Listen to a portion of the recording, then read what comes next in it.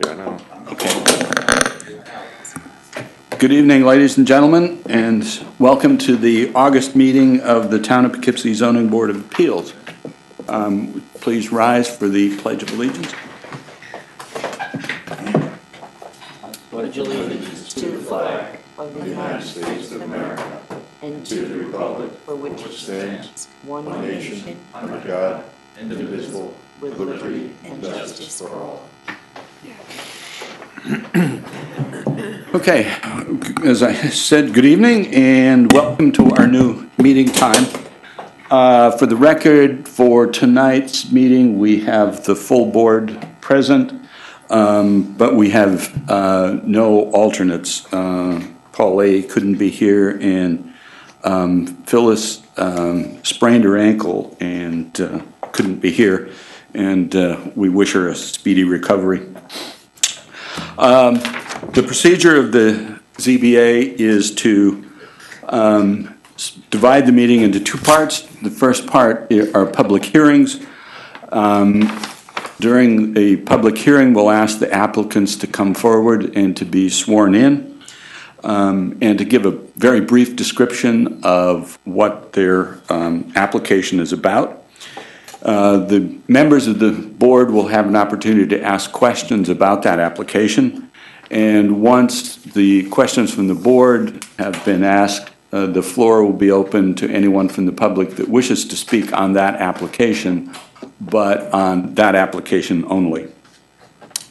Once we've um, finished the uh, public hearings and closed or adjourned the public hearing, as the case may be, um, we then go into the deliberation phase. During this part of the meeting, uh, there's no further input from the public, um, though obviously people are welcome to stay and, and listen.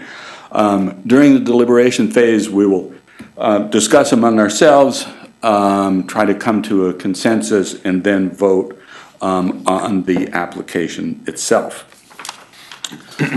Okay. um, The uh, item number one, um, Malabar Realty, 798 Dutchess Turnpike and 219 Overocker Road. Um, This uh, item involves a set of um, requests for um, area variances. And uh, at the last meeting, we adjourned, or um, we closed the public hearing. Um, At that time, or, or after that, the um, applicant um, revised the project and therefore uh, wished to revise the, um, the application for these various variances. Um, I would just note for the record um, that this decision was made solely by the applicant. Uh, There was some question, and I've gotten a couple of letters uh, about this, about whether the ZBA would, uh, would consult with a- uh, any other agencies about possible modifications to this plan. Um, Let me just state for the record, I did not co- consult with um, any other agencies, in fact, any other um, persons um, in town government. Um, And the, uh, the request for um, reopening the public hearing uh, and considering a, a new or a revised application um, came solely from the, from the applicant. As a result, um, we felt that it was, uh, the, I felt, um, that it would be appropriate to reopen the public hearing. Um, We asked that it be um, re-advertised. I think that's entirely appropriate to let people know that um, what we would be hearing uh, would be a revision to the application. Uh, And so uh, the, the first item of business, um, I move that the uh, ZBA reopen the public hearing on the matter of Mal- Malabar Realty and uh, their request for um, area variances for 798 Dutchess Turnpike and 219 over Overocker Road. Second. Hey, made and seconded. Any Comment, discussion, all in favor? Aye. Aye. Okay. So the, uh, the public hearing is now reopened, And uh, is there someone that, from uh, Malabar Realty that wishes to um, present the new application? I'm wondering if Malabar may not know that the time of the meeting was changed from 7 PM to 6 PM, because I don't know that they were in the room at the last time. I don't believe anyone's here. Okay. My suggestion would be we, t- Okay, we- we'll, we will simply uh, postpone this to later in the meeting. Um, The, the, uh, the same holds for item number two, which um, also involves Malabar Realty. Okay, that brings us to item number three. Um, Wayne and Teresa McDonald, 12 Ridgewood Road. Um, Are they here? You can take a look. Yes, come, just, yep, step up to the, to the desk. Sit or just stand? Mm-hmm. Sit or Sit. stand? Have a seat, yes. Be comfortable. And would you just state your name? Uh, Wayne E. McDonald Jr. Okay. Mr. McDonald, do you swear to tell the truth, the whole truth, and nothing but the truth, so help you God? I do. Please be advised that you are under oath, and any false statements made by you are subject to perjury pursuant to the laws of the state of New York. Okay, um, so would, would you just tell us a little bit about, um, what you would like to do and why you need a variance to do it? Uh, what I'd like to do is put a carport on the side of our home. Uh, I have a, a older car that I want to cover and have a place to work on it, uh, out of the elements. And, uh, that's pretty much what I would like to do. Okay. Um, and as I understand it from your application, this, the, the carport would be off the left side of your house as far- Facing the house, facing the house from the road would be off the left side, Left. yes. And it would extend out almost to the property line. One- Almost, about one- a foot away. One foot, From, okay. from what I can, yes. So you, w- with the application, you, um, you included a, um, a drawing. Yeah, Um, basic drawing I had, I put down. Yeah. What, what would this carport look like? Uh, Describe it.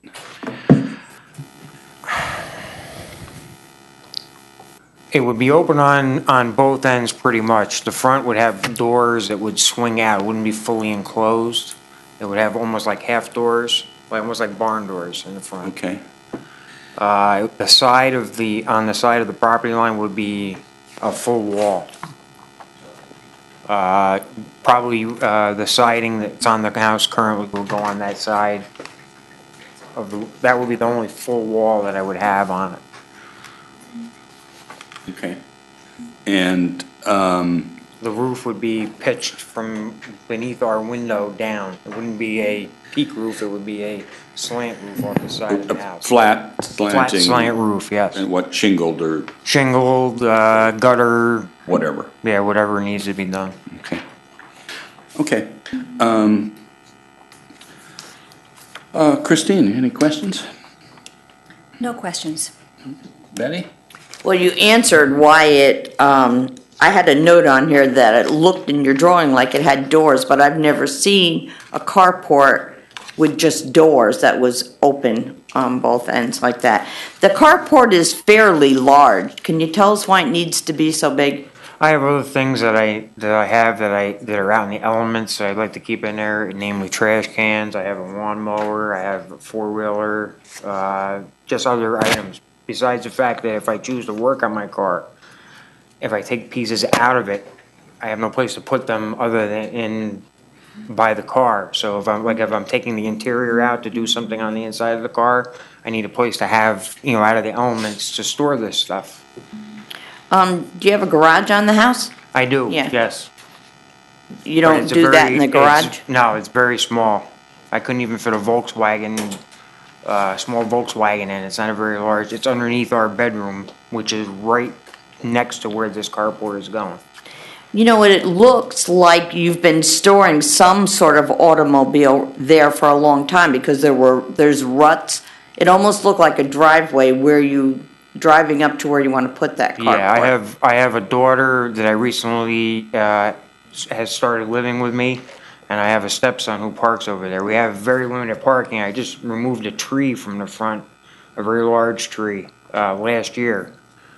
Uh, so that we can maybe extend the parking over a little bit so that it's not, eventually, the front of this will have, it will be paved. I would like to pave it all the way across up to where the, close to where this is ending near the property line. That's another issue. Yeah, it's, I mean, Yeah, well. I- my stepson parks there right now, that's where, where he parks. Cause we have no other place unless he parks in the street. And I know during the wintertime, nobody's allowed to park on the side, side of the road, so that's where he's been parking. And I Okay. have, I have two cars, my wife has a car, my stepson has a car, and my, my youngest daughter that I said was, is living with me now will have a car, so, and she's living there as well, so we're gonna have, uh, five cars in the yard. Okay, you can go around. Okay, Art? No, my concern, like Betty said, the, the size of this thing, plus the pitch to the neighbor, the water runoff, gutters and no gutters, I think we're gonna be putting a lot of water in that neighbor's yard. Um, I can't see any gutter, especially in the winter, that's gonna handle that load. Um, There's no way you'd like to make it a little narrower, huh? I mean, you're going pretty deep. You're going twenty-five feet deep plus the length of the car, which, what have you got, an old, what? I have a seventy-two Plymouth, uh, satellite, it's a pretty large car. 13 feet long, 14 feet long? Yeah, So you got another 12 feet at the nose? You, you can't get the ATV and the mower in the garage you no, have now? I have, I have no room in my garage right now. I have a toolbox that takes up, uh, probably a quarter of the garage that's there now. The garage only goes back, the original garage only goes back a certain amount, and then we have a laundry room behind it. So it's not even the full length of the house, it goes back to a wall and a door, and then on the other side is our laundry room and like a pantry. So there's no, there's no real room to put really anything in there. I mean, I, I store, uh, tools, and, uh, it's pretty full right now. I'm, I'm good right now, Jim. Okay. Larry? Questions I know. Okay. Tony? I have no questions. Okay. Carmen? Yes, uh, oh, what, what kind of material is, is this uh, carport going to be? Is it going to be metal, wood? Wood, It's going to be wood? wood, yes. Okay. And you, you don't have any eaves uh, on the roof there? Eaves. I mean, s- uh, uh, something to take care of water? I, I have, well, on the, the roof that's on the house, yeah, there is, there's, that's all set up. There's gutters on it right now on the main house. I would have to put something on, on this to get rid of the water. To, to put it into a, uh, area where it's not gonna go A in the neighbor's lawn and B in our backyard. Right, right. Um, t- I'm just trying to, uh, look at the width of, uh, this proposed carport.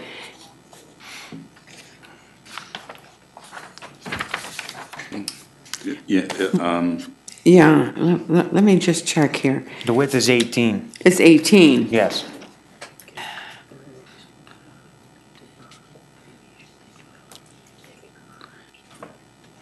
I'm sure this would not be ideal for you, uh, because you, you do want a lot more space, but I, yeah.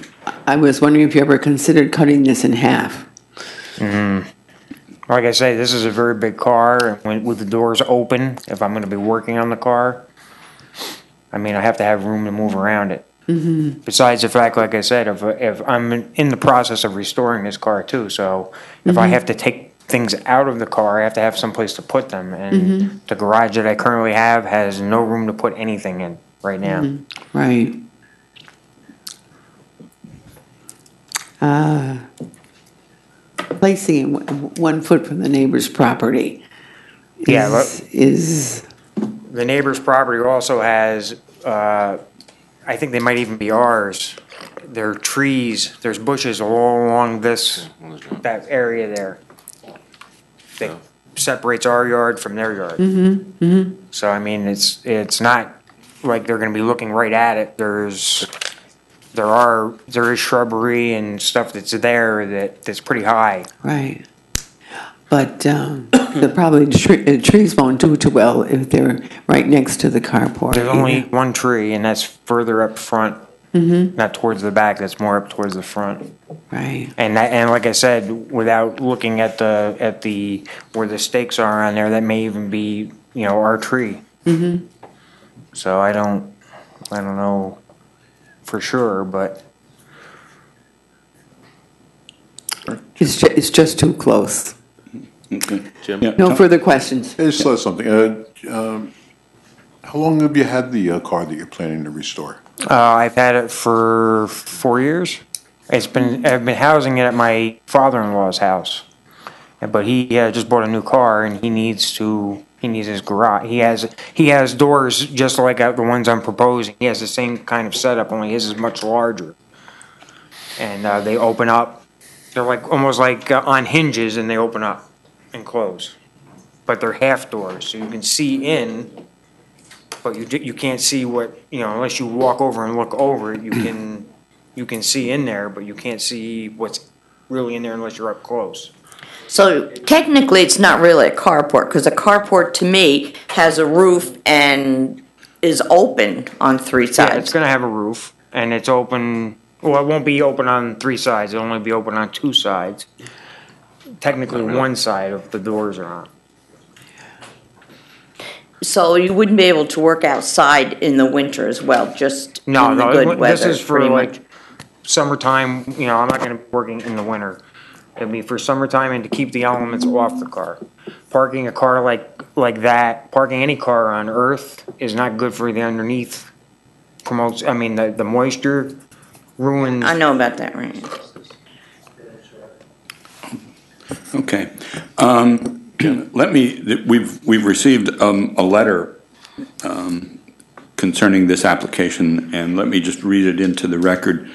Um, It's to the Town of Poughkeepsie Zoning Board of Appeals, and it's from um, um, Michael Kowaliw and Vanessa Kowaliw, I think, of 14 Ridgewood Terrace, which would be the the um, next-door neighbors. Um, Due to a prior obligation that could not be postponed, we are unable to attend the zoning board hearing. Please accept this letter as a statement of our interest regarding the above referenced matter. Mike Powers has our full permission to represent us in our absence.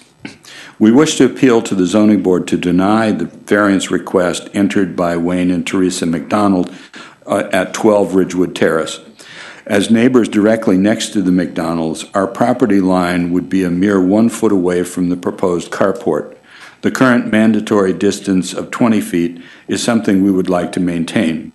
We are concerned that a carport would in- impinge on our property line and privacy. We also have a row of trees separating the property, and a structure placed there would have a direct impact on the health of the trees and greenery that is already in place. There is also a considerable amount of mechanical work that occurs on several vehicles in their driveway and side yard, along with the presence of an ATV. Having a carport 20 feet closer would increase the amount of noise and fumes that already penetrate our property. We have a young child, and while we've learned to tolerate certain disturbances, we would not wish to get it any closer to us. The undesirable change will be a detriment to our property. The McDonald's do already have a covered attached garage, as do most houses in the neighborhood. The placement of any additional structure would adversely impact the character of the neighborhood. Because of the factors listed above, we are asking the Zoning Board of Appeals to deny the request of the McDonald's to add a carport to their property and obtain an area, and, uh, and to obtain an area variance approval. And it's signed by um, as I said, Michael and Vanessa. Kow- K-O-W-A-L-I-W.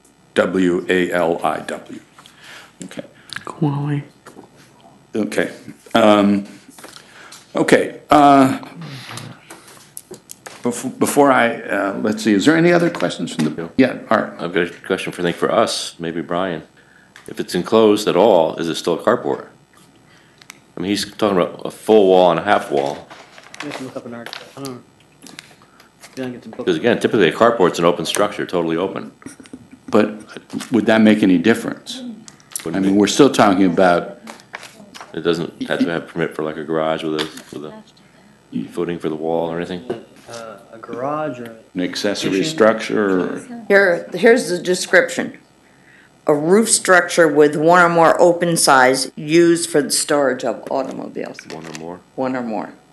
Yeah. Okay. So, so I think it- it is, it is a carport, but it, um, it, the, the code calls for, for twenty-foot side yard. Um, and this, this obviously is not. Um, okay, I, before I open it to, to anyone else to speak, um, I think you've gotten a sense from the, the the questions that the, the, the the reaction to this is just too big. Um, And, um, you know, an, an, an eighteen by twenty-five foot carport is a big carport. Um, We've, we've had, um, similar cases in the past, and they have created difficulties. Um, So, you know, I, I guess our question uh, to you would be, you know, would width of 10 feet um, be of benefit to you? Um, width of ten feet wouldn't be, if, if you saw the car, you would, uh, you would, uh, see why I need space for this car. This is a big car. This is- I'm not talking about a nineteen ninety-two Plymouth Satellite, I'm talking about a nineteen seventy-two. Right. This is the size of, of a Cadillac. This is a big car. And, and if it was enclosed on the sides, like I, with the letter there, uh, I would feel that there would be less noise. I do work on, I used to be an auto mechanic and I do work on my own cars. But my feeling is putting it inside something is gonna cut down on the noise and me doing it outside with no walls around. Because like I said, I don't use the current garage, I don't pull into this current garage. I do all my work outside on the driveway. So, Okay. I don't, I haven't worked on the car when it was on the side of the house, cause I've only parked it there once or twice. Like I said, parking a car like that on earth is not good for the metal underneath. Okay, so, having an insulated wall in between it, or in- even if I enclose it all the way around, would be much more, if I were, if I were or could do that, enclose it all the way around, you're not gonna hear anything then.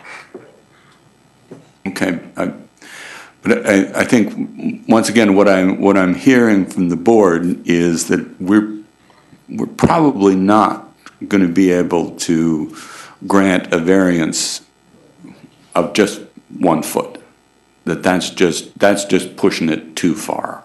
And so what, it- what I'm, you know, asking you is, you know, is there, is there any wiggle room here?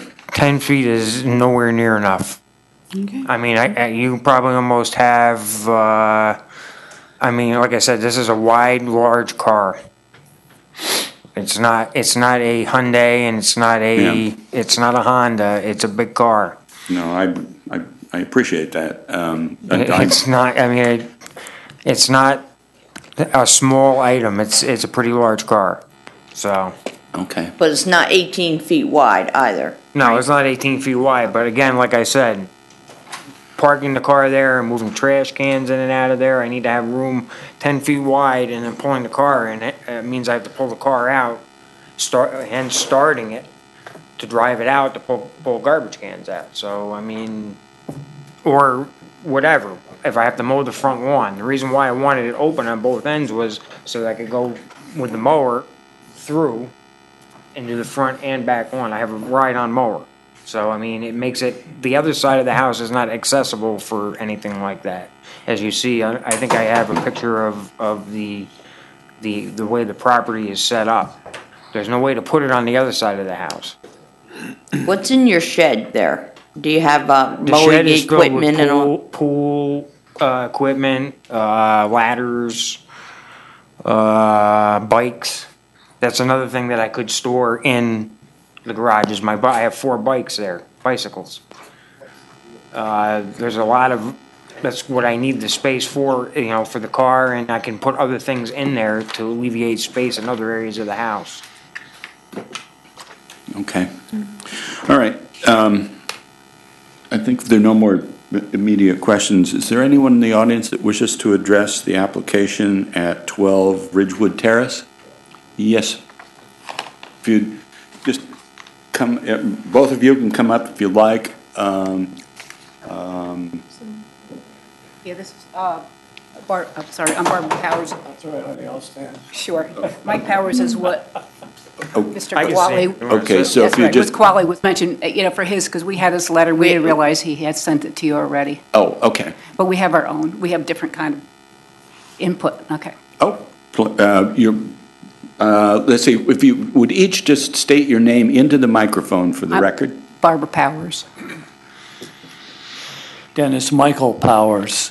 Mr. and Mrs. Powers, do you swear to tell the truth, the whole truth, and nothing but the truth to help you God? Yes, we do. Please be advised that you are under oath, and any false statements made by you are subject to perjury pursuant to the laws of the state of New York. Understand? Okay, yeah, please go ahead. Okay, sure. Um, This is from Dennis Michael and Barbara Power, 16 Ridgewood Terrace. Uh, We've been residents of the neighborhood since uh, 1973. Um, Subject, we had no area variance should be approved uh, in regard to changing 20-foot variance to one-foot variance to add a carport at 12 Ridgewood Terrace, Poughkeepsie, New York. Our issues, one, there have been two house fires in the neighborhood in the last few years, one in recent months. Although the proposed structure is a carport, the possibility of a fire extending to the adjacent house is more likely with resulting closer access. Two, there is an undesirable result to a change to one foot in that the neighborhood could be viewed negatively when the possibility that property lines could be encroached upon. Some prospective buyers interested in moving to the neighborhood would view the closeness of permanent structure as something they would not like. Therefore, the change of variances could possibly affect property values. Three, there have been frequent episodes of noise and noxious fumes emanating from the cars that are being repaired on that property and flow throughout the neighborhood. A carport would bring that much closer to our property. Four, variance could be avoided if the equipment could be stored in the garage, storage shed, or putting a bigger storage shed in the backyard. Other neighbors have extended their driveways to accommodate several cars when there are several people in a neighborhood, I mean, in a household, sorry. That's it. Okay, thank you. You're welcome. Um, Any questions from board members? Okay. Um, Is there anyone else in the audience that wishes to address? I have, I have one question. Yeah, go ahead. Perhaps. Um, For the applicant, what is the um, practicality of possibly putting this carport that you want further back in the yard? So that, That's so that it, move, it wouldn't be up close here, it would be further back here? that's the septic system in the back there. Is that a leach hmm. field? That's a leach field, and that's Back a in there. tank, and that's a, hmm. they, there was repairs, I think there's another, there's another, uh, page to that where it shows where they fixed the septic mm-hmm. field in the back, so driving on that wouldn't be, or putting any kind of structure on that wouldn't be, because that, the ground needs for the leach field, I mean, driving over top of that is not, Not good. not good. Or, and there's also a tree in the way there too, but either way, I mean, driving over top of that, I mean, yeah, putting it in the backyard would be great, but there's just no room to put it in the backyard. The only place that I have room is right there. Jim? Yeah, Art? I've got a couple of questions and I'll let it drop. Number one, um, are we at all concerned about lack of access for an emergency vehicle if there is something such as a fire in this house? There's no way to get around the back. Number two, how would you possibly get access to repair the septic system? Did you put this up? And number three, the present tree line, as I recall, is very sparse. I don't believe, I didn't remember seeing many bushes that you described. I thought it were mainly more mature trees that really don't screen anything. But uh, I've got three, you know, three more, three of those concerns right there. So, Can go along with my, Okay. Um, Anything else? All right. Uh, Well, if not, is there a, a motion to close the public hearing? so moved. Second. All in favor? Aye. Aye. Opposed? Okay, thank you very much. Okay. Uh, Item number four is the Golden Corral, 2345 South Road. Uh, Yes, sir. How you doing? Okay. Uh, So if you just state your name? Okay. I'm Randy Quickenbush. Mr. Quickenbush, do you swear to tell the truth, the whole truth, and nothing but the truth, so help you God? I do. Please be advised that you are under oath, and any false statements made by you are subject to perjury pursuant to the laws of the state of New York. Thank you. Okay, and, okay, your name is? Yes, Darren Chip Joyner with Golden, with the Golden Corral Franchise Group. Mr., say it again for me. Uh, Darren Chip Joyner. Mr. Chip Joyner, do you swear to tell the truth, the whole truth, and nothing but the truth, so help you God? I do. Please be advised that you are under oath, and any false statements made by you are subject to perjury pursuant to the laws of the state of New York. Okay, um, so you want to just briefly explain? Okay. I am with Cobb Sign Company. We are the primary sign vendor for Golden Corral. Uh, They are looking at a new site here, um, and we have been asked to apply for a variance for their standard sign package. Um, And everything has passed except for the pylon sign. And they're asking that we get their standard nine by fourteen sign, which is what at ninety percent of their locations. And the reason that we're asking, or Golden Corral's asking, is, of course, on Highway nine or Route nine, you know, it is a divided highway.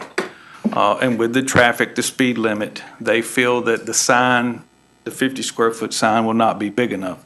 And I realize there have been other businesses up and down that area with the same concerns. Um, The sign will be located in the upper north corner of the property. And um, we want to make sure that the sign is visible for northbound traffic and southbound, especially with the northbound, since the only entrance is southbound, to give them the opportunity to turn, to frequent the restaurant. Uh, The sign also has a changeable copy, which we put messages up for the uh, patrons. And um, with their national presence, like I said, this is not something that, you know, out of the norm for them. This is their standard sign package. Okay. Um, Let's see. Um, I think before um, we go to to questions, um, uh, l- let me read uh, some correspondence that we've gotten from Dutchess County.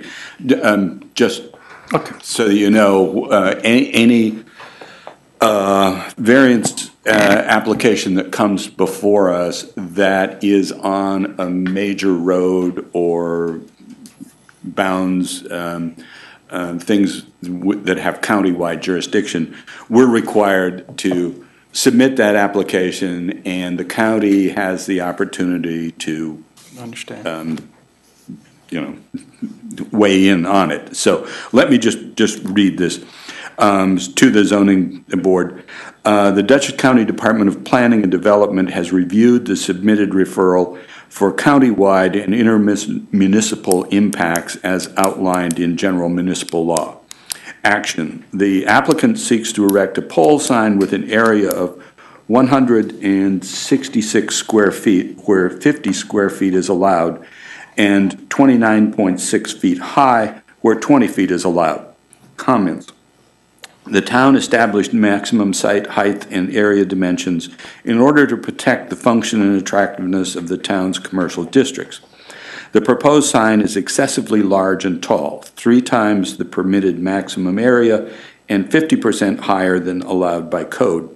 The applicant's justification for the requested variances is that the proposed sign is necessary for visibility to those traveling northbound.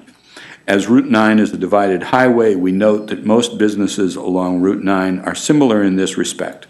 However, other area businesses' signs have been designed as lower monument-style signs that effectively communicate their lo- location without the need for excessive variances. In addition, the applicant has also stated that the sign was designed to be readable to traffic traveling at 65 miles per hour, but the posted speed limit is 45 miles per hour.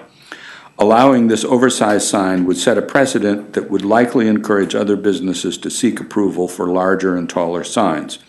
Recommendation, for the reasons stated above, we recommend that the board not grant the requested variances.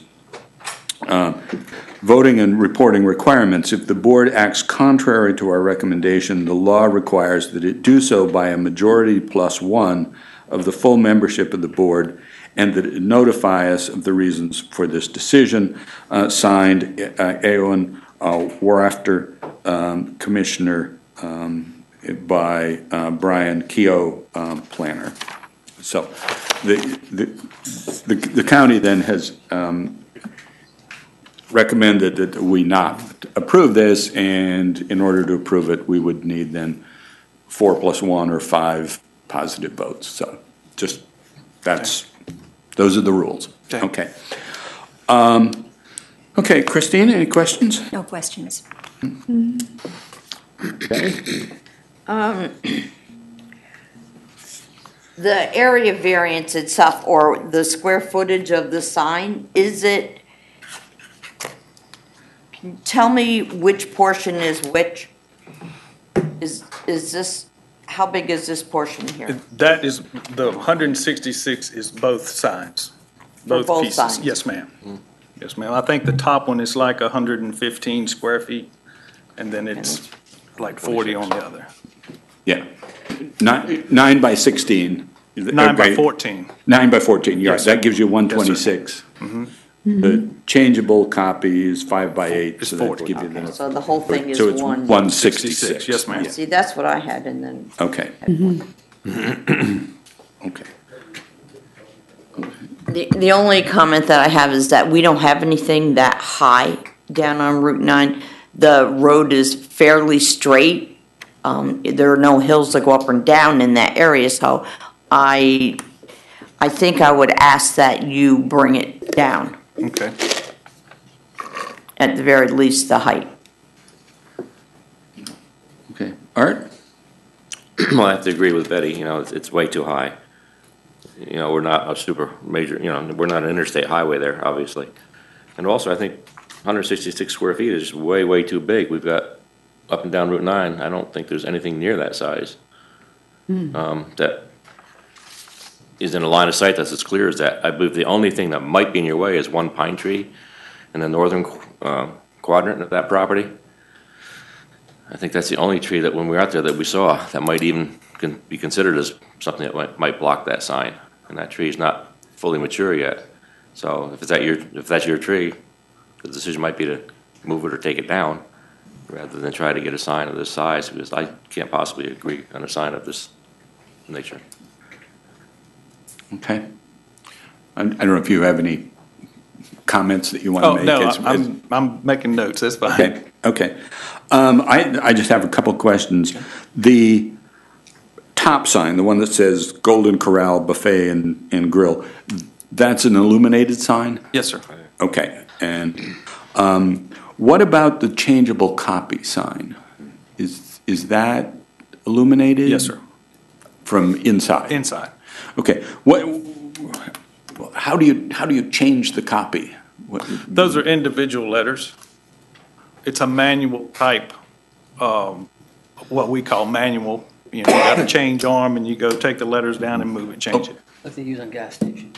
Okay, okay, old movie Old marquees. type, yes, sir. Old time movie Not marquee. electronic now. Yeah, okay, yeah, all right, got it. Um, Larry, any questions? No questions. Tony?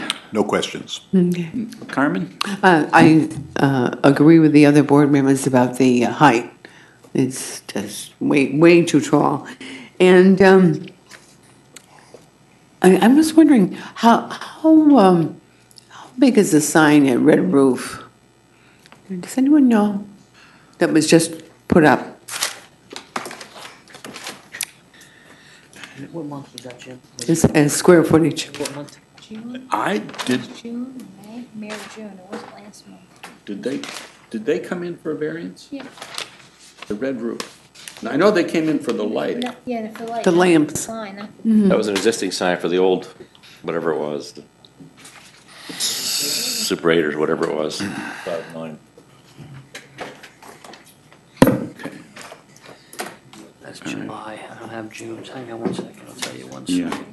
second. But, but Yes? it wasn't for the freestanding, though, they came in for the awning. Oh, okay. Yeah.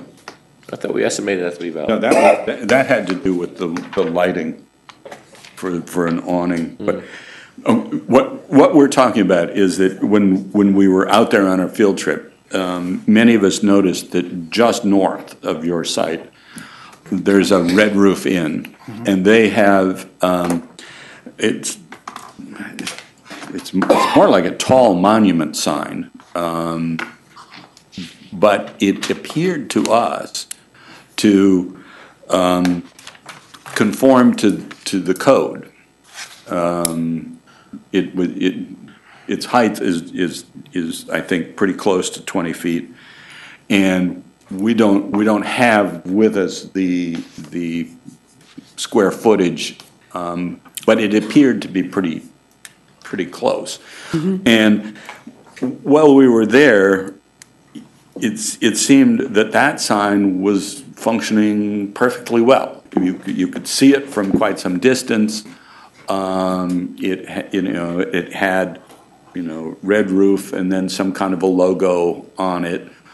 Um, and I guess it, it, it seemed to us that a, that a sign like that might serve you perfectly well. Um, and that, you know, quite frankly, when we, we, we sat there and looked, you know, taking, say, the, the utility poles as a, as a, as a guide, saying, okay, how big would this be? How large?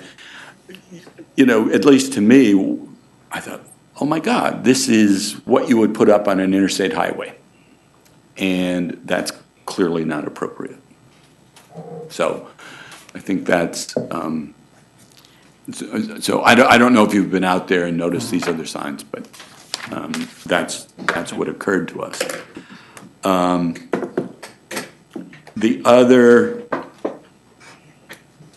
the other question that I had was, you know, ab- about the changeable copy. Um, And quite frankly, I didn't know quite what you, what you meant by that. But it might be that um, a sign that would be more like a a monument sign, in other words, or more more rectangular, um, would allow you to, you know, get your corporate logo, you know, the, the Golden Corral and the buffet and, and grill. Um, And then below that, you may still have room for, for some changeable copy. Um, There are examples of that up and down Route 9. I think Burger King has one that that conforms, um, or, or is pretty close to conforming.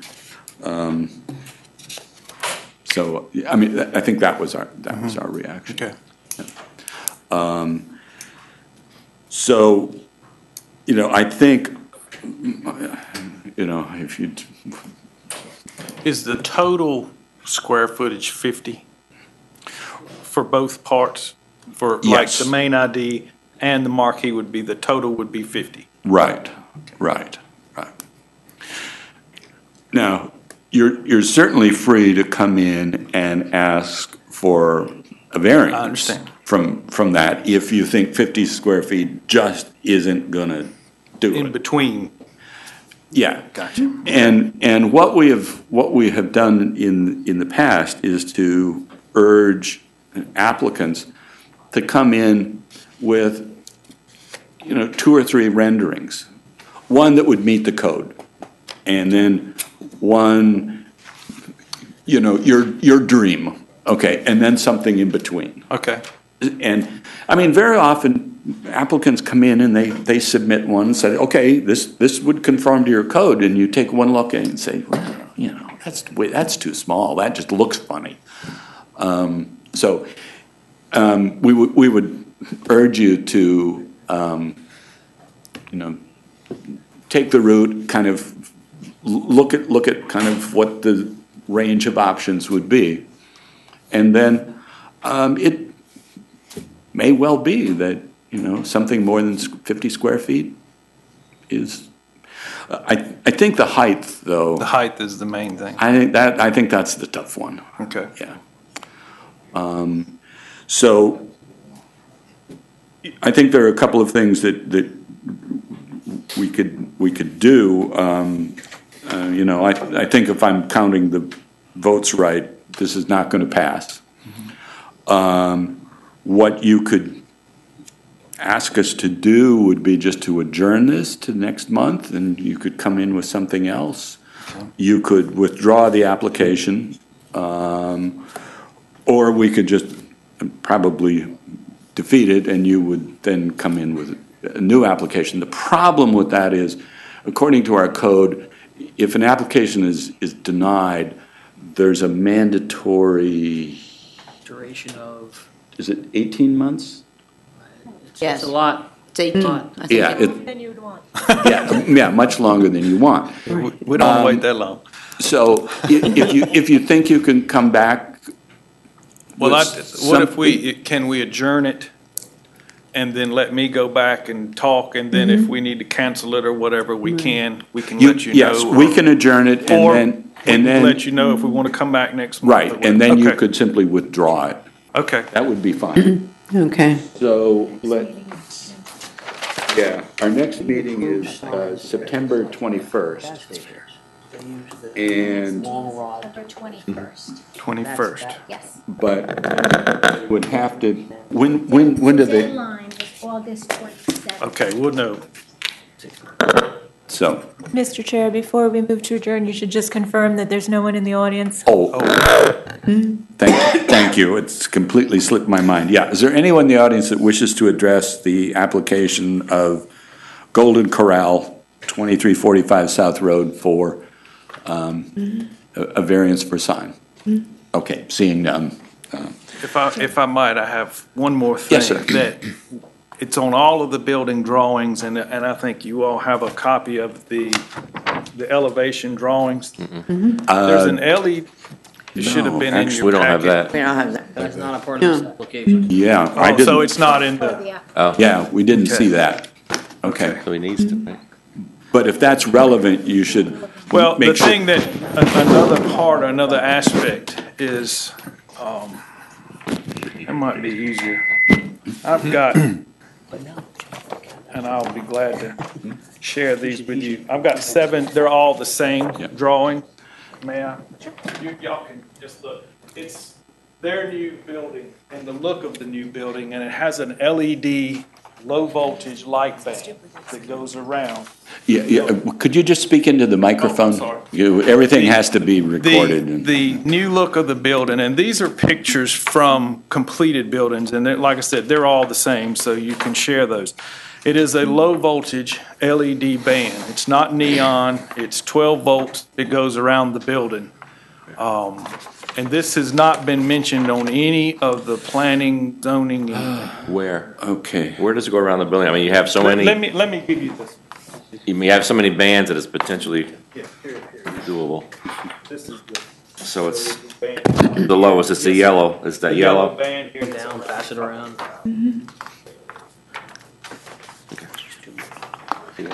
Um, That, That's good. And we may need to get that in on the next one, or, I mean, like yeah, I said, it- it's, it's not been mentioned. It's on all of the, all of the drawings and everything that's been submitted, and I was asked to get clarification.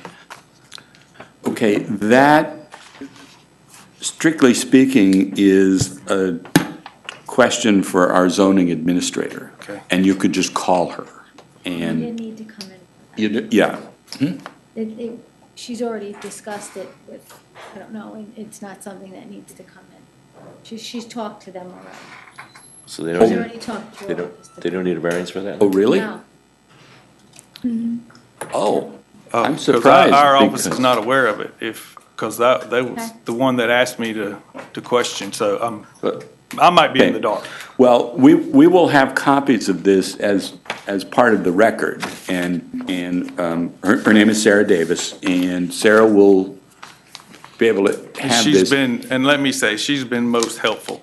Oh, okay. honestly, and- okay, and okay, very, very okay. helpful. But whether, whether you need to come in with a variance for that is Okay, her decision. Right. I I can tell you that a couple of years ago, there was a diner that came in Right, what's the difference? with the, the request for a, for a band like that, and that, um, that was a problem. okay. But, okay, I, I just want to make sure you, Okay, that, and that's Have fine. a We just conversation wanted with to her. get clarification one way or another, so we'll speak with Sarah. exactly, okay, okay. And it sounds, sounds like she's already Yeah, she's, a- Fine. Okay. Okay, good.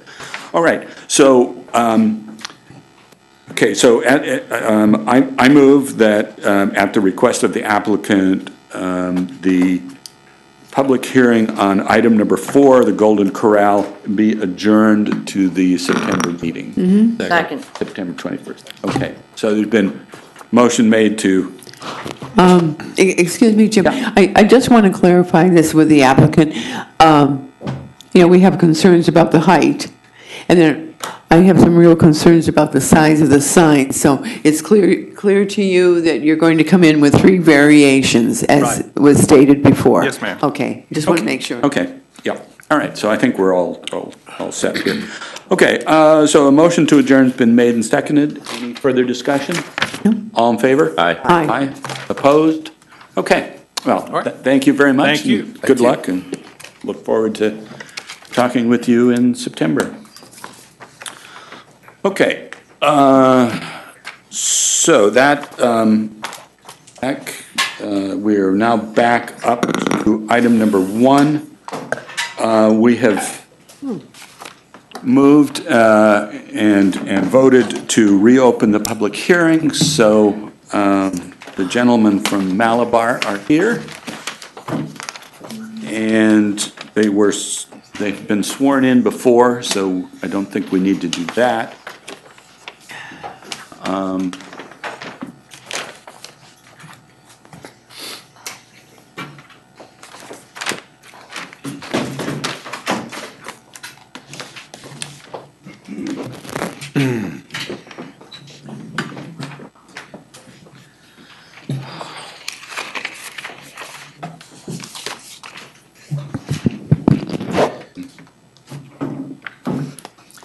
Okay, go ahead. Good evening, Mr. Chairman. Uh, James Haran for, um, from the law firm of Stenger Roberts Davis and Diamond, appearing on behalf of Malabar Realty. Um, With me to my left, to the board's right, is Mr. uh, uh, Jose, uh, Lajan Jose of uh, Malabar Realty, and to the, to my right is Rich Tompkins of uh, Maury Associates. He's the architect on the project. Mr. Chairman, can I intrude for a second? Because I've raised a number of procedural issues. You made us sit here for 45 minutes. I've indicated to you in correspondence that I deem this a nullity to the extent that you haven't advertised for such a special hearing on continuing site plan hearing. So my question to you is, are you going to continue the public hearing after tonight for a number of procedural deficiencies? Okay, um, take them more or less in, in, in order. Um, um, Yes, we did um, reopen the public hearing, and um, That was only to the variances, Mr. Chairman, not as special use permit. that, that's right. Um, We first have to decide as a board uh, what we want to do about the, um, the issue of the variances. Um, If, for example, um, we would adjourn decision on the variances, then we would have to, to deal with the, with the, um, the special use permit um, in a different way.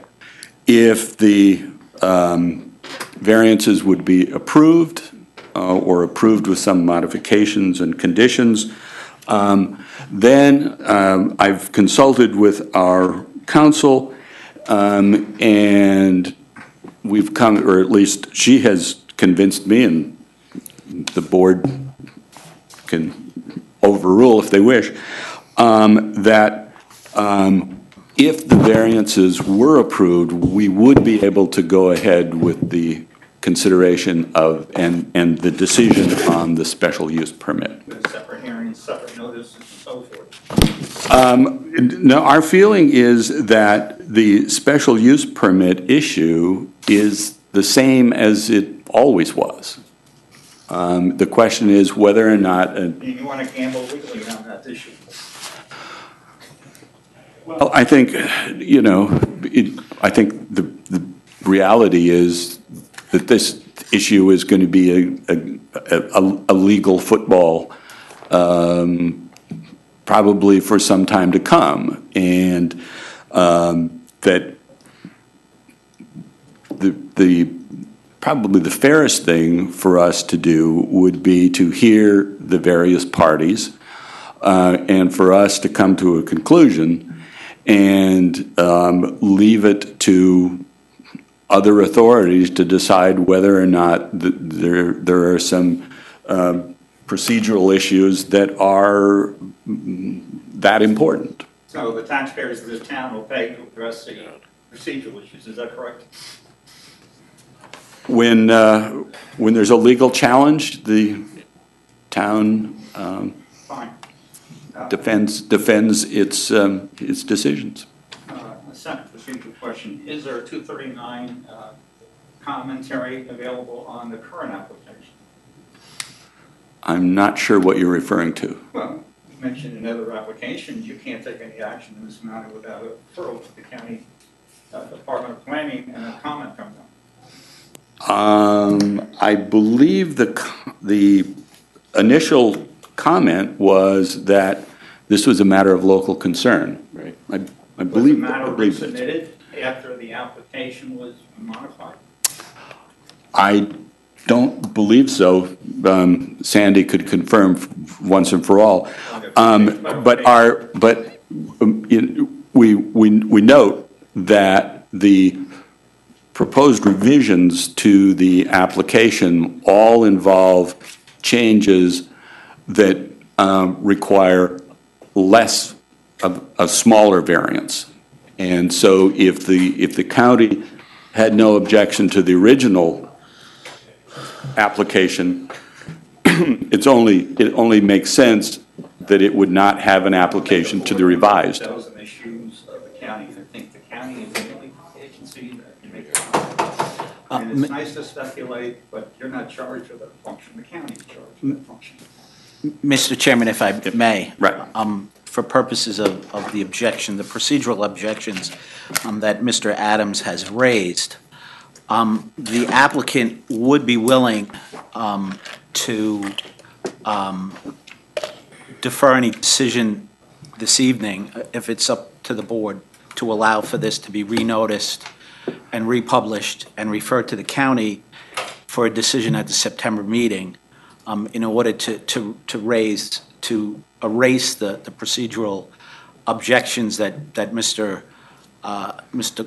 Mr. Adams has raised. Um, For our, for purposes of our application, um, we need to get on the planning board agenda, and there is no planning board meeting in, in August.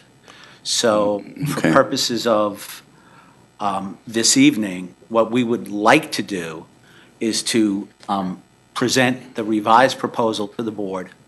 Um, I would, I, I think, as Mr. Adams suggests, it would be appropriate to refer to county. Um, I think if county had said local concern previously, I think they'll say local concern again. Um, uh, And with respect to, um, you know, the issues presented, um, we would like to get feedback from the board. Um, We had made uh, some substantial changes to, to the plan based on the comments that the board had raised uh, during their discussions, their deliberations, um, which we reviewed on, on YouTube, uh, thankfully.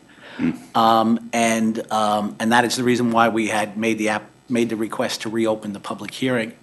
Um, But based on, on, um, on that, if, uh, to, you know, give the public as, as much opportunity as possible to comment on the revisions, we um, would have no objection to having it, uh, you know, any decision uh, deferred over to uh, the September meeting and allow for, you know, additional republication. Again, on, on behalf of um, our team, we apologize for being, for the lateness. Um, Look at the body of the agenda and forgot to look at the very top notice, and, and and for that, we, we we uh, apologize. And I apologize um, directly to John as well, um, and for the members of the public who are here on this application.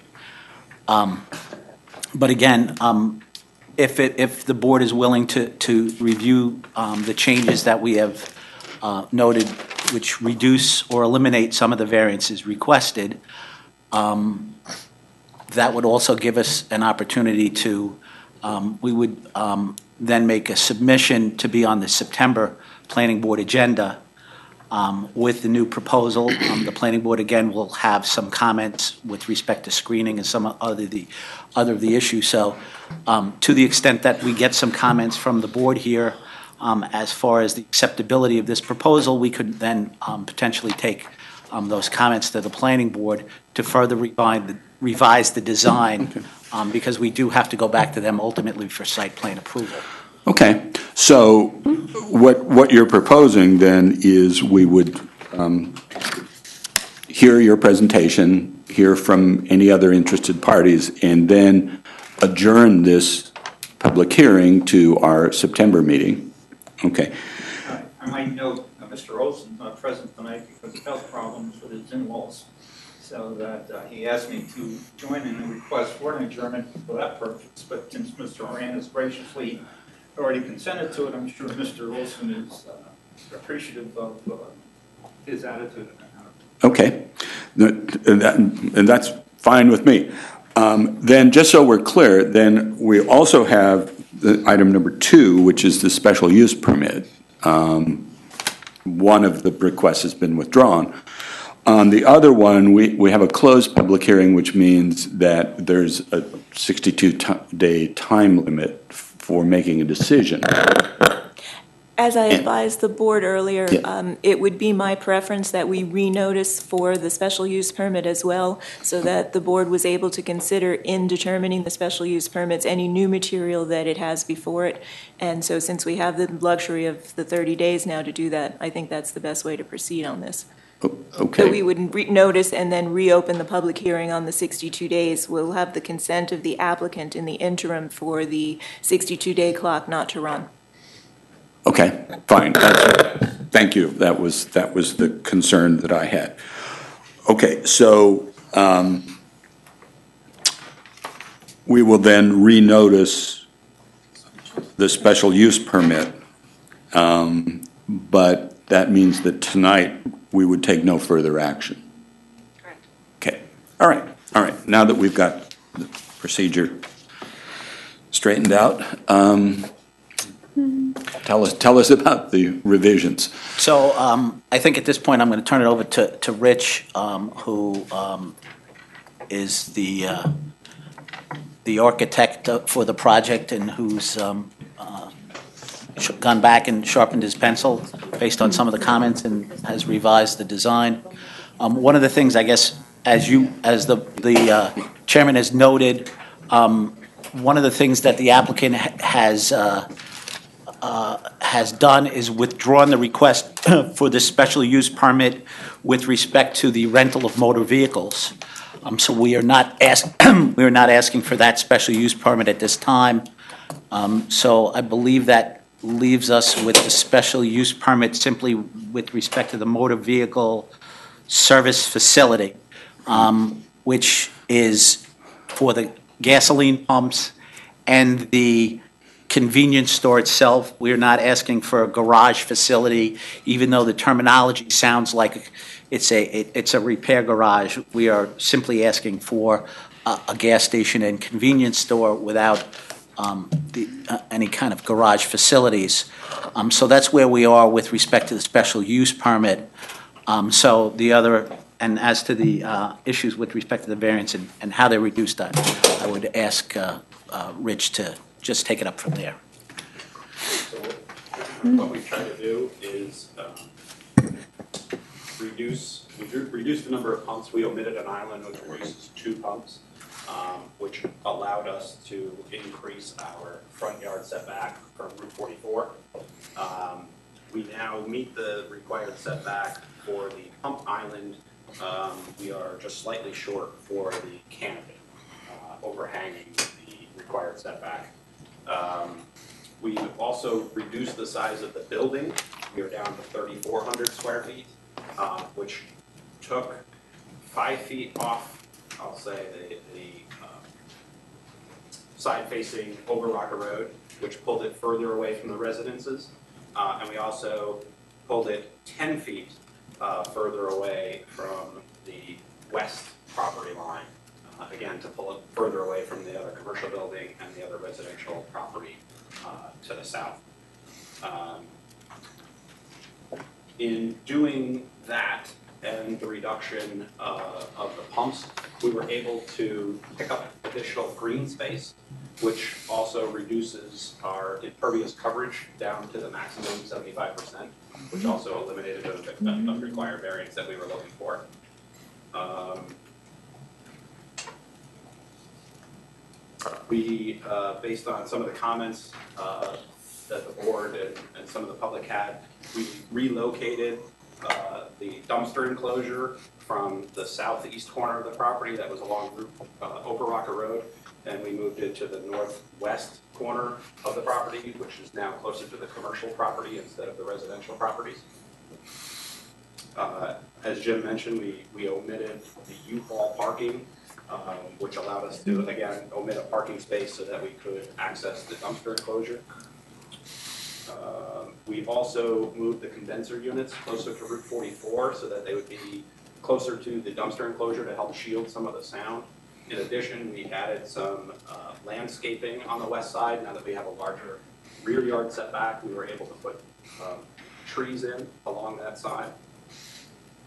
Um, And I believe those are all of the items that we changed on the plan, um, so that, again, we could address a lot of the comments from the board and the public, and reduce the variance. Okay, thank you.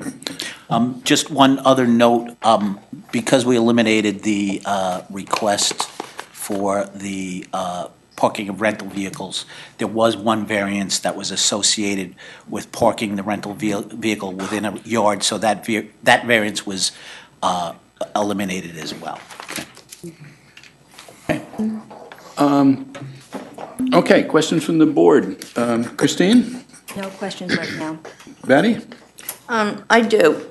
When I was going over this map, the new map, I found what I thought was a variance that should have been requested and wasn't, and maybe I just have the wrong, the wrong, um, measurement here. For the second island, the one out further, closer to forty-four, if you go to the top of that, it says twenty-six feet, um, one inch. Yeah, you almost have your, your pen on it. Should that, That, that 26 feet is from curb to curb, that dimension. oh, okay, so, Oh, To the, to the island, uh, we are 28.7, and to uh, the canopy, we are 23.11. So I guess that would be part of that front yard setback. She's asking Oh, from 'cause that Route one was- forty-four to the On combined. Route 40 not on Route 44, we listed. extended, it, it's just the canopy now that overhangs that setback. okay. Jim, what do you think? Um, Burn, You're looking at Overocker Road, right? No, No? Are are you, con- right here. are you concerned about that one? This one. That one? Yeah, isn't that supposed to be forty as well? But we, yeah, we were, we were at, and note number two says a front and rear yard setback. that's one of the variances, that's a variance that we were Oh. looking for. Oh, because I, there was a whole list, a- and I had all the others listed, but that one, Well, that, that would be one of the front yards. Since it is So a it's front triangle, it's a Front yard setback variance on Old Old Rocker. Right. 44. That's listed on the two of the variances required under the yard. Oh, I don't know if that one was on. yeah, on the, on the Route 44 side, we are actually more than 40, 40 foot. yeah. But on the Overocker s- side, we are, Well, it's, it's, both sides are front yards. yeah, it's because of the triangle, we consider Route 44 as well as Overocker side as a front, right? The, the, the- the front yard setback to the gas canopy along Route 44 is 44 foot 5, and the required setback is 40. Right, you, that, that's not what Yeah. I'm Yeah. talking about, I'm talking about the other side The of other it, side, the that- that twenty-six was always foot. part of that, that's, that's why number two listed front yard and rear yard setbacks, it's, it's both.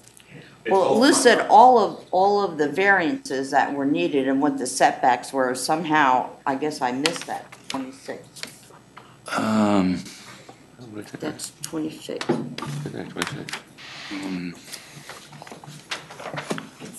There? to the front yard setbacks of, Maybe, I- yeah, Okay. See it. yeah, I think the confusion is that on the map, you, you said that, that, this- the curb to curb distance was twenty-six feet. Correct, that's just for maneuvering, that's what that. Right, and then how much further is it to the property line? That, that, if, if you look, the property line and the curb are not parallel to each other for that stretch. Yep. So the, the closest dimension as the property line starts to pull into the property is just above that twenty-six foot dimension. It's twenty-eight foot seven to the pump. Oh. From the property line to the pump. Oh, okay, And then it's twenty-three foot eleven from the property line to the canopy. So the, the, the distance that, that Betty is concerned about, which shows up as twenty-six feet for the, for the front island, From the Overrocker. side, shows yeah. up here as requiring a variance of twenty-eight feet, seven inches. Because that's the distance to the, to the, uh, property line. Uh, well, it would really be twenty-three foot eleven to the canopy. Count the canopy, that's the closest dimension. Oh. Do have. Okay, okay, okay, okay, I, I got it, yeah, Yes. yeah, all But right. that's why it was listed as front yeah. yard, but it's really, it's both front yards, like you said, because we're on the corner and they're both front. Okay, so the nearest structure is actually gonna be the. I camp. actually had, um, variance required of twenty-three eleven, Is that listed on the table up there? Yeah, okay, it is, because all I, right, okay, so that, that, What, what that dimension actually is, not what the required variance is. yeah, I do it backwards for, for us. okay. All right, anything else? Forty, No, I'm good. Okay, Art? Variance is forty minus, right. Um, just a question. Oh, there you are. Sorry. Lee, you sat down. Um, by the condensing unit, the, the, bu- the trees you're gonna put in, are they gonna be like a, a pine type that's got, you know, leaves, if you will, needles all year round, or you're talking about I think that was the general. help really, really deaden that sound, That we would do that, that'll be reviewed as part of our planning application. rather than a leaf, a regular leaf just gonna drop in the fall? Sure, yeah, Okay. But that's something that you would be willing to do? Mm-hmm. yeah, absolutely, yeah, that, that, that would be followed up with our planting Right. schedule with the planning. Okay, I'm good right now, thank you. Yeah, I, I, I like, I like the idea of the trees, um, al- along that, that, uh, west, um, property line. Uh, I guess my question is, um, could we have more trees, um, and therefore more screening along the, the southern, you you know, um, on, on this map above the, the convenience store? I see you've got some, um, near, yeah, right We have there. Smaller shrubs in this area. Okay. I would have to verify how close we can get. I believe right now it's, I can only, I have to be ten feet away from the septic system. So the dotted lines that are here. uh, Oh, that's what that is, okay. Septic field, I have to be ten feet away from those. So on the Overocker side, we have the fence. um, And, and I believe that we are the minimum ten foot required from the property line to the, to the septic system. Um, I would have to verify with the engineer that we could maybe place just a couple around the building. Um, but I, but I won't be able to get them within ten feet of the, of the, uh, septic system, that would be a health department requirement. Yeah, yeah. It's just that there's, you know, the, the, the screening issue is important and trees are such a wonderful way of doing that.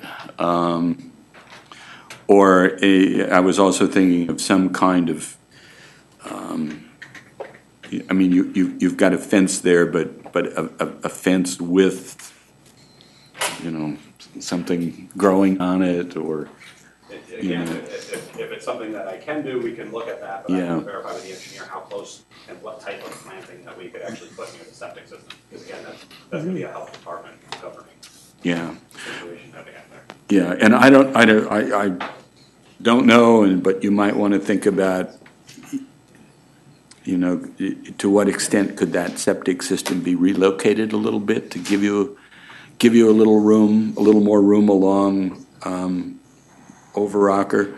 You know, I know, you I know you shifted the building down, that's great. Um, um, and the building, the trees that you're proposing, um, the shrubs that you're proposing, all, you know, help and, you know, if you, if, if you could look at that, I'd appreciate it. I could talk to the engineer a little bit about it. Um, Yeah. Again, again, part of the health department requirements, you know, keeping it out from underneath the pavement, there's certain requirements I have to meet from uh, drainage structures, so there's, there's a lot of. And, and I would imagine that there's some size requirement for the septic system, but if it's, if you now have a smaller building, maybe you don't need as big a septic system. Yeah. I'm, Same number of bathrooms. though. That depends upon the toilet we, uh, How many yeah, we, we at least need two toilets. Okay. Which requires like a thousand five hundred gallon, I, I remember. Okay. So that, that's what the size they will determine for the septic. Okay, I'm just, I'm, I'm just asking to have a look at it, and if you can fit a few more trees in, that's always good. Uh, Larry, any questions? No questions. Tony? I have no questions at this time. Um, uh, Jim, uh, when do we address the, uh, the fence and, and the height of the fence? I- Is that You next can- month or, You could, you can address that right now. okay? If I, if I could just, part, part of that Mhm. variance that we're asking for, um, which was actually also suggested, I think, by the planning board, was to extend the eight-foot high fence further into our front yard. So that's actually one of the variances that we're looking for, and it's really to help screen from the neighbor. Right. So that, that's why we extended that. I believe the way the code section reads, it can't, uh, I can't have a fence higher than three feet in the required front yard. Right. So that's actually the request for that variance, is to extend it further into our front yard to help Oh, prevent that screen. okay. Um, I think the other thing, um, did the neighbors have some concern about uh, lighting? And um, may- maybe you can just kind of clarify uh, something about the lighting here. Well, again, I think we, we haven't, we haven't gone through and redesigned the lighting at this point because we were waiting for this meeting. And that's part of the request from Jim is to get back onto the planning board. Okay. So we would have, we obviously Right. have to upgrade And- all of the and you- plans now for the, for the planning submission. Yes, and you address that with the planning. We did, we, Yeah. we unfortunately, last time, uh, we met with the planning board, that was one of the things that we didn't have complete at that time. So now we do have the lighting levels, so when we get back to them, they'll be able to review that. Okay. Prior to that, now we will have to revise them, uh, because of the shift and the Mhm. reduction in the canopy. So we'll actually have fewer lights in the canopy now, um, which will help, I think, reduce some of those light levels. Okay. Mhm. Thank you. Okay, any other questions from board members? No? Okay. Um, All right. um, So, uh, continuing the public hearing, is there anyone from the audience that wishes to address um, the revised Malabar proposal? Yes. If I might be sworn in from my, uh, Um, I think you were sworn in, he was You sworn were in. sworn in last month, right? Yeah. Yeah. Oh. John, John, The, the, the microphone, please? I'm going to reserve my comments for the next meeting, but I'm sitting here looking at the rear of the uh, board, and I'm looking at the elevations. that the applicant prepared. John? And listening from the elevations I'm looking Uh, at, John, wait, I think the switch is off. the, click. I'm looking at the elevations that I'm, that I have a vantage point on because I'm in the rear of the board, but I don't see the most important elevation. Perhaps the most important elevation is the rear elevation. Uh, And I simply ask by way of question, has a rear elevation been prepared for submission as part of this application? I A believe, rear, ele- a rear elevation was prepared for the planning board, um, and I believe it was part of the package. I can take a quick peek here.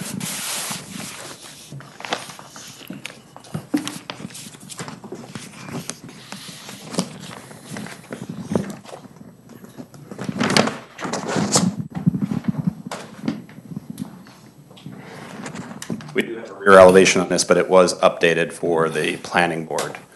okay.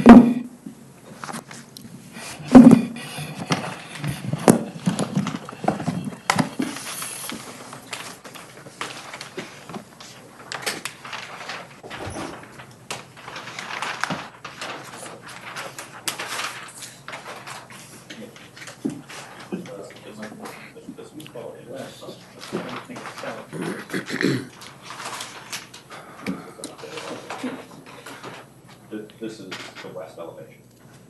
This is the south elevation. West means West, west is towards the straight.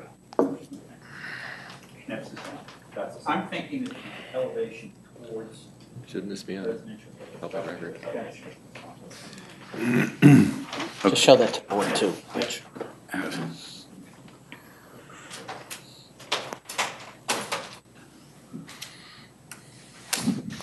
So the, the, the colored elevations just showed two of the elevations just for uh, uh, architectural review is what we were trying to do. Uh, This is the um, south elevation, which faces Overocker Road Okay, toward the residential properties. okay. And the one in the upper, or middle left, that would be the west facing, That would be the west facing the strip mall. yeah, Yes. okay, okay. All right. um, Okay, uh, Mr. Adams, do you have anything further? Uh, not tonight. Okay. All right, is anyone else in the audience? Yes, sir. Good evening. Can you, can Good evening. I'm Jim Greaves, uh, 215 Overocker Road. Okay, and I believe you were sworn in Yes, the sir. last meeting, yeah. Um, First thing I want to say is I misspoke at the last meeting when I stated that there was 18 houses within the 500 foot of the residential zone. The new plan that they submitted shows 21 houses within that 500 foot zone, not 18, so there's three more than I stated last month. Um, I border on the uh, 794 side, and I just wanted to show you guys some pictures. Uh, When I first moved into 215 Overocker Road, we couldn't see this commercial building because they had trees planted along the property line. Two years after we moved in, they cut down the trees. And since then, there's been more renovations done to the building. They put air conditioning units on the roof, which then required the uh, parapets around them. They also put a restaurant in there that has a uh, um, make-up air and exhaust fan on it. And there's some pictures in here of the, and I went to the zoning board and the building department. They complain about the state of disarray, the way they keep the property. These are the problems that we, and where they dispose of their garbage in their backyard, and where they store their frying oil in their backyard. All right, these are the problems that happen when we don't get the buffers, and once, and they're not on the plans, right? So that's why we need the buffers that we're asking for here. I also. You wanna see these pictures? Um, Yeah, I think we'll, um, now, um, okay, you've got, you've got the addresses uh, written on here. Okay, fine, fine, fine, okay. All right, we'll, we'll make this part of the, part of the record. Thank you. I also have some pictures from my front yard. The first one is, it shows the light from Route 44 Dutchess Turnpike that comes from the other commercial buildings there. And if you look on it, the lighting is not that good in here, but if you go up underneath the light, you'll see where the farmhouse is and how important that farmhouse is as a buffer to us that completely blocks off Route 44. Now, when they knock that farmhouse down, what we're gonna get is their canopy. So we can take the light that's coming from here, and we can just increase it to that entire section right there. And that's gonna completely encompass the end of that road and wash over into, into where we live. I also wanna show you where my driveway is. This is where I pull out every morning, every night I pull in, whenever I go anywhere. You can see my sight distance might be hundred feet, all right? So I wanna enter these into there. Okay. So you guys can take a look at it. Do you have your address? Do you have your address next to where? 215, he's 215. Yeah, I can write it on, two fifteen over Rockaway, yes. Or, yeah. Ju- We just need to be able to identify it, so, thank you. Okay. And, and I, I thank them for moving the dumpster. I mean, that was great for us. But other than that, they really didn't do anything else for the plans. Excuse me? Um, Just want to say that uh, they're still trying to put too much on this lot, right? They're, and I, I actually come into question, I believe, John, did Chasen look at the, their new proposal? Yes, but they haven't completed Yeah, but I, I actually believe, from what I looked at, there's still more than seventy-five percent usage on that lot. Um, but I guess John's taking care of that. Um, did, the new proposal does absolutely nothing for residential screening from the noise, the lighting, or the traffic. We still have a big issue with the traffic here. Um, cutting down on its pumps did nothing, uh, to alleviate the traffic. Uh, I also want to point out the hours of operation. I just want to reemphasize this. Vic's Garage was open from 7:30 in the morning to 5:30 at night, Monday through Friday. Depending upon the mechanic that rented his garage out, since I've lived there, sometimes they worked half a day Saturday and sometimes half a day Sunday, right? Their proposal and their short-form traffic study said that they're going to put 320 vehicles a day in and out of that gas station. Vic's Garage didn't do that in a month. In a month. Uh, We, meaning my wife and I, ask that you deny the area and special use variances being sought for for the property located at 219 Overocker Road. Uh, That's because they're within 500 feet of that residential district. Uh, We also ask that you deny the variance for the parking of the motor vehicles within 20 feet of residential district and the relief from all requests of variance of the 40-foot setbacks. If the variance for the 40-foot setbacks aren't granted by this board, we don't even have a chance in front of the planning board to get a 25-foot greenway. Um, And 210-152, uh, 2C gives us that under the planning code.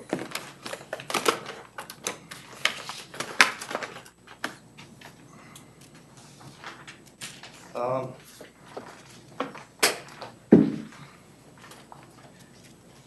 I just think that uh, if this developer still needs this many variances to build this project on these lots, then this project is just too big. It's just too big to go where he's trying to put it. Thank you. Okay, thank you. Um, Before we go further, uh, let me just ask, um, are either uh, Linda or Peter Mack in the audience? Yes. Okay.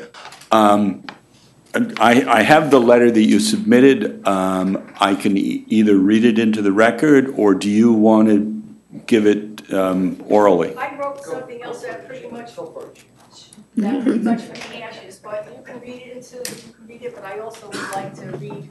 Well, I, I mean, in all fairness, it it would be better if you Right, just made your then presentation and But It's then, not that, it's basically, I kind of summarize what I wrote. okay, that's fine. This will remain part of the Yeah, oh, yes, record. And I want to give. And I'll give you a copy of this. Fine. Okay. That'd be good.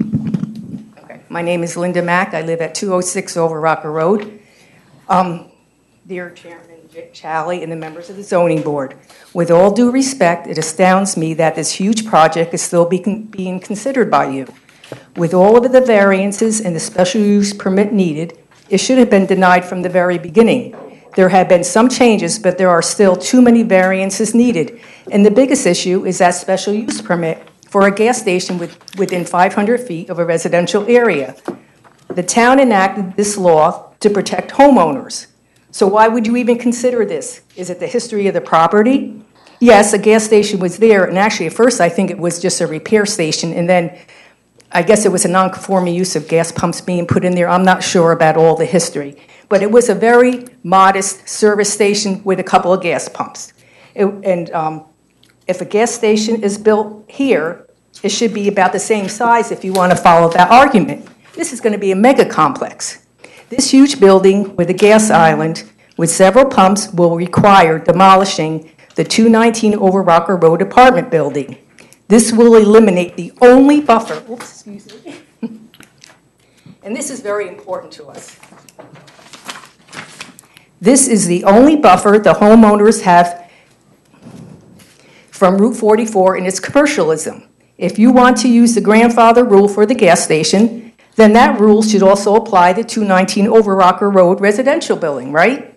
I mean, if you can use it for the gas station, why can't you apply that same rule to a residential building? Because this building is the only buffer to our neighborhood, it played a significant part in the decision-making process of buying our homes in this area. As it stands, this project will grossly impact us negatively in so many ways. Commercialism will be even closer to us, especially that of a gas station, which is a violation of your zoning laws. Mr. Stengel will literally have a gas station in his backyard, 25 feet away. Is that a setback? No. And Mateos, I'm sorry, I don't know your last name, will practically have one in his front yard. Would any of you want a gas station in your backyard or front yard? Seriously. Another adverse effect will be excessive noise, lighting, and more importantly, potential gas and oil pollution that a gas station can generate. Again, that's why I'm sure you put that 500 feet restriction as part of your zoning law, right? Traffic will increase significantly on Overocker Road. The added entrance and exits on this road should be denied. It's difficult and dangerous to take a left onto Route 44, so drivers will use our road to avoid this problem. Collectively, our home values will decrease by hundreds of thousands of dollars. This will create a large negative financial impact on us. Who's going to want to, if we want to sell our home, who's going to want to buy it? Our neighborhood has repeatedly visited the Zoning Board of Appeals meetings to ensure that our rights are protected and that the town's existing zoning laws are upheld. You put them on the books for several valid reasons. Please adhere to them and not circumvent them. Please do what is fair, right, and most importantly, what's legal. Our quality of life and our financial well-being depends on you using good judgment and common sense. Please respect our legal rights and bi- and abide by your zoning laws. That's all we're asking. If you abide by the laws that you put on the books, there's, there's no problems. Thank you very much. Okay, thank you. All right, um, any other? Okay, thank you. She's pretty good, isn't she? My name is Peter Mack. I'm Linda's husband. And I, I can only concur with what she said. And uh, the only thing I can say is uh, my grandfather was a judge, and uh, he always said to me, The law is the law. And uh, the law is the law, it's on the books. And you folks are charged with uh, deviating from that law. And I hope you consider our, our concerns as far as a residential community that's very small and very modest. Thank you very much. Okay, thank you. Um, Anyone else? Oh, I know.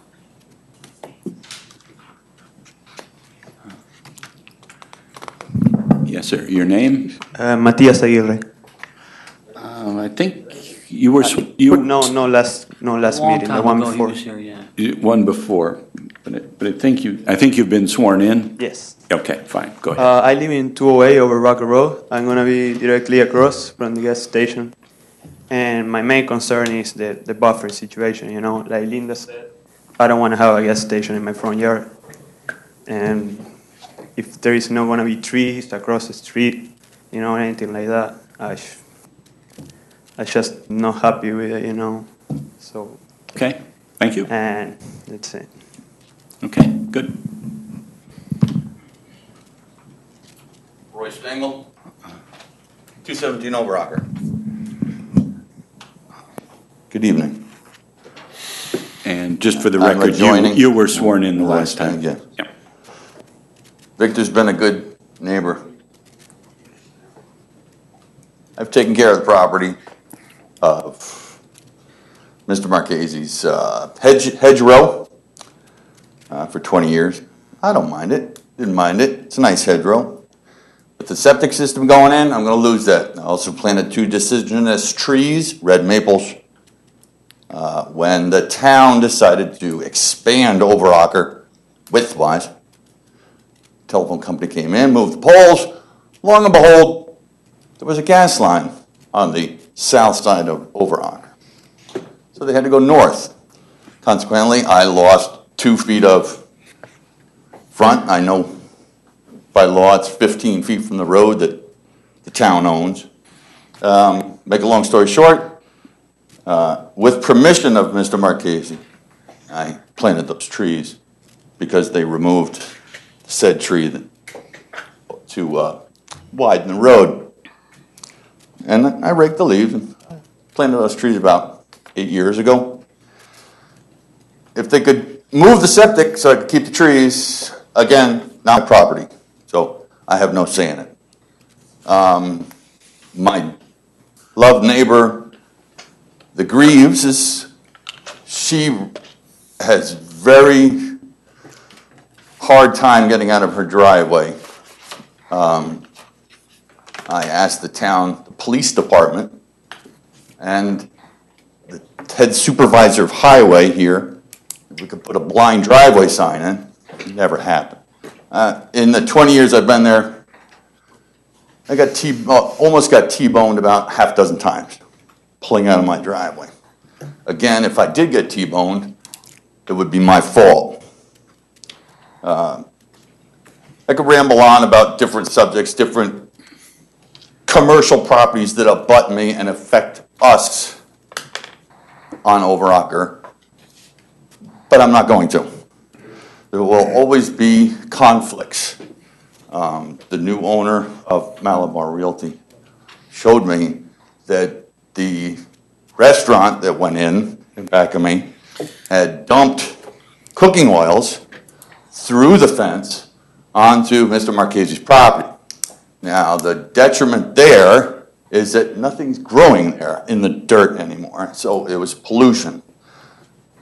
The dumpster that's put in the back corner of my property, the wind blows, picks up garbage, throws it right over the fence. Um, Getting back to Mrs. Greaves, she has a hard time getting out of that blind driveway. If an eight-foot fence goes up there, it's gonna be totally blind. And I will be, feel like I'm in a cave. So, just a few things. Thank you very much. Okay, thank you. Anyone else?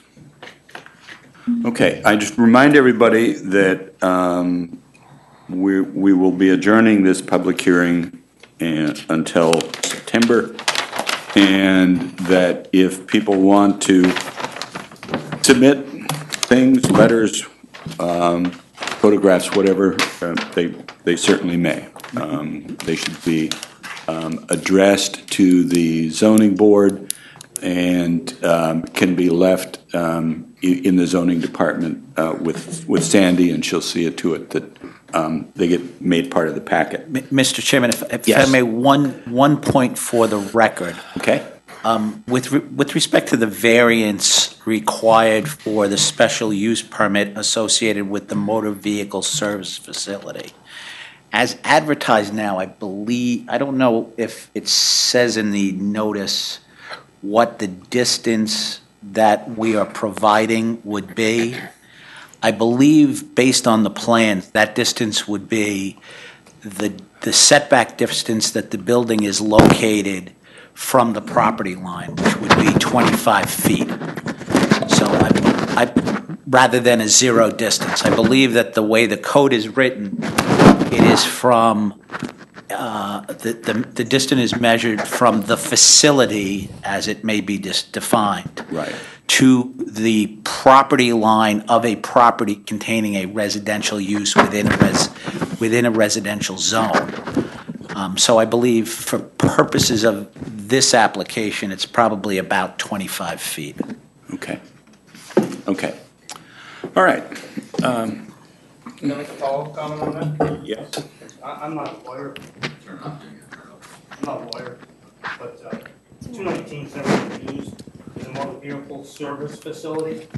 The town of Poughkeepsie has an ordinance that says you can't build one within five hundred foot of a residential zone.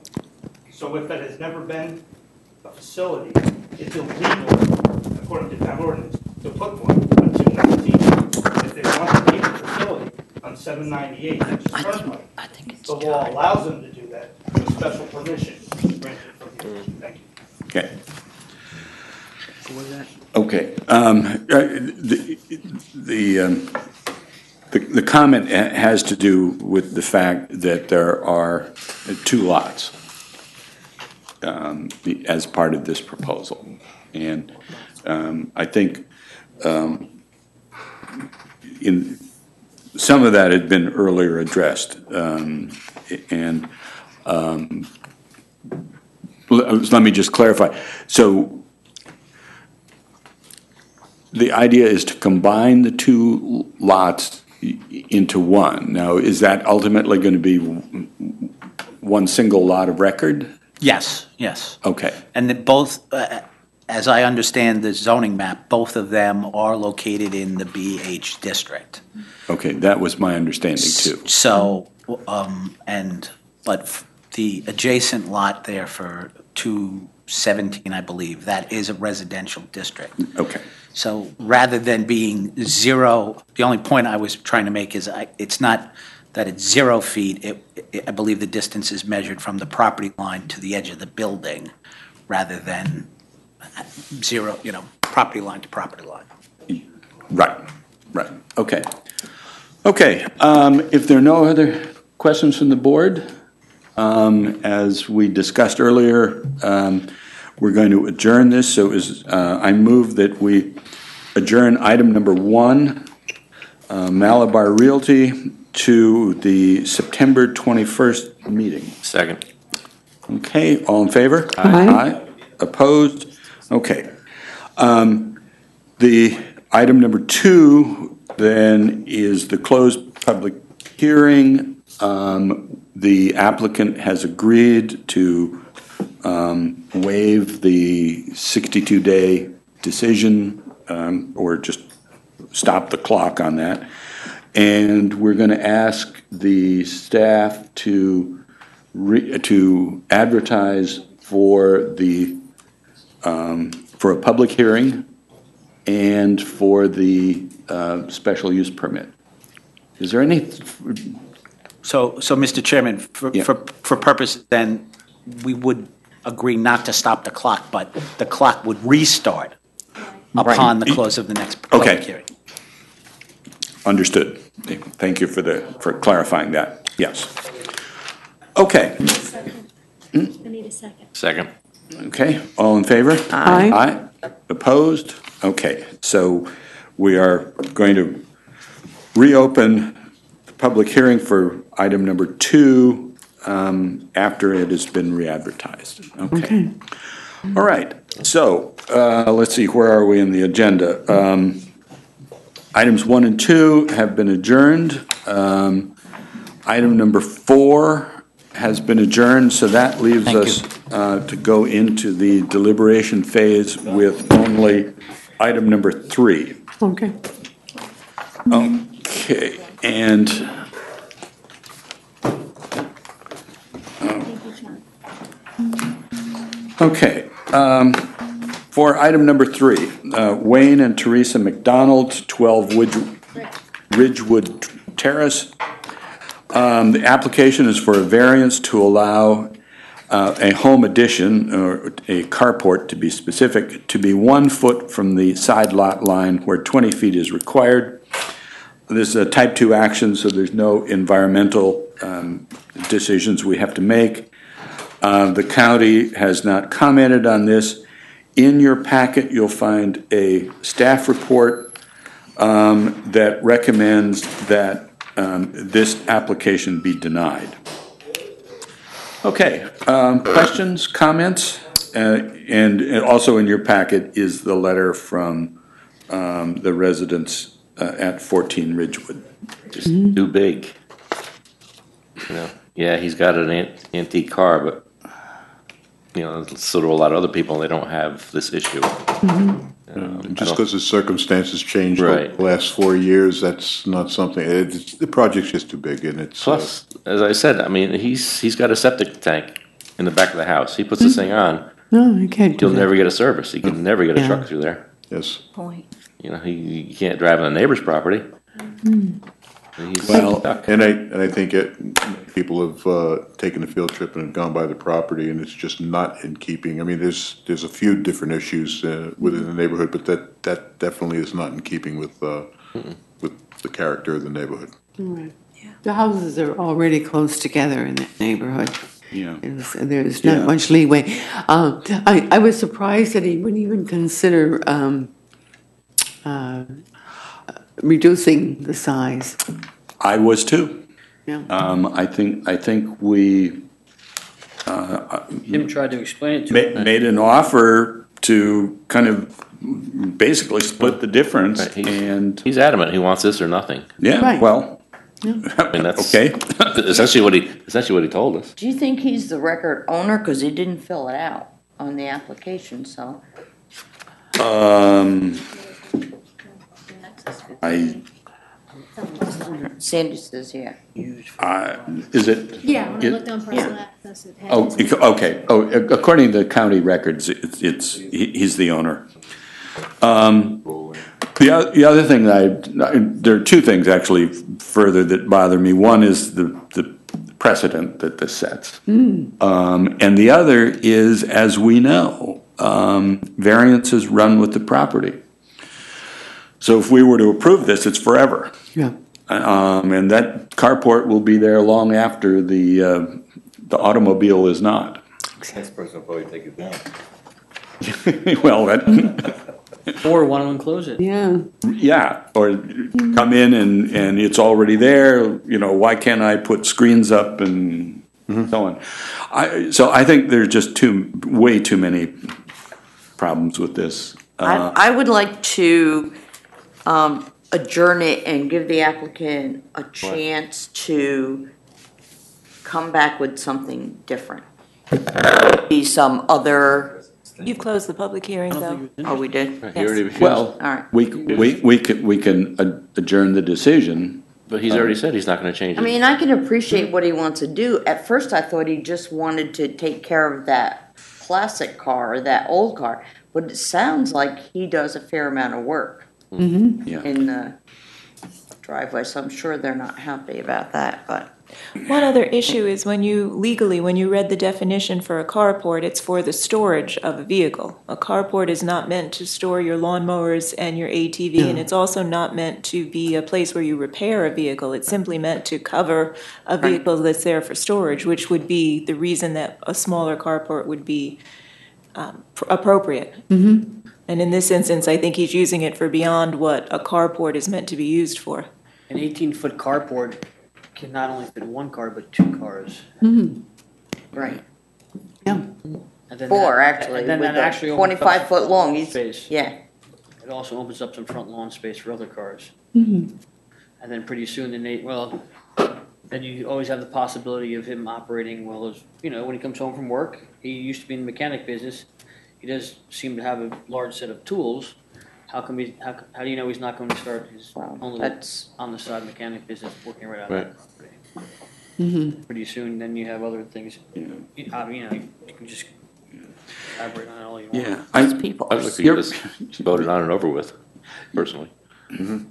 Yeah, and I think, I think you're trying to be Okay. kind, but I was trying to be kind. But I, th- I I thought we tried, we made it as clear as, can- as, I, I, th- I think a couple of us uh, raised the issue of, of really reducing the size, and he said no. Okay, um, uh, let me see, I need, uh, I need a little template here. Uh, You'd think after all these years I'd have it memorized. Okay, uh, I, I would certainly think that someone uh, like that would want to protect the car and, and would, and would would go. Right, that I can Part of the understand. reason for the carport is, is really to preserve and protect the car too. Right. And um, so, but that's clearly not what he really no, it's not where he is. Okay, um, I move that the board uh, deny the request for a variance set forth in item number three. This decision is based on review of the application, the testimony of the applicant, testimony offered in public hearing, the result of site visits by board members, and the staff report. In not approving this variance, the board adopts as findings the determination found in items one through five of the staff report. So move. Second. Second. Okay, any further discussion? Okay, uh, all in favor of the denial? Aye. Aye. Aye. Opposed? Recusals?